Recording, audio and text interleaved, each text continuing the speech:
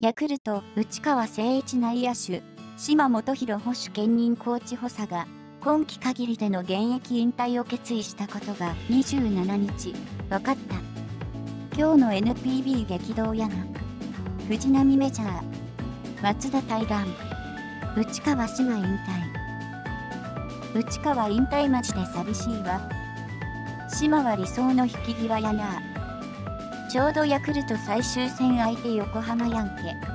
内川の旧応援歌聞けるわ。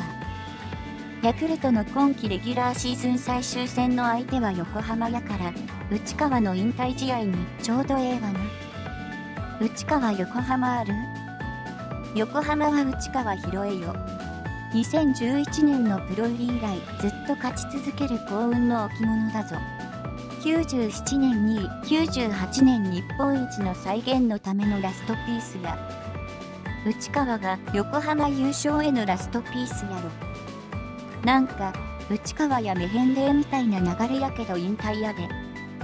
記事読んだ感じだと島はコーチとして残留。内川は対談するっぽい雰囲気だな。内川も島もヤクルトでコーチやってくれ。島ってこのまま役でコーチか島さんヤクルトに残ってくれるよね。ヤクルト島内川そのままコーチで残ったら美味しいな。楽天は島入閣伸ばすことになるのんて思ってなかったやろうな。島と内川はちゃんと優勝決まってから引退発表するのは偉いわ。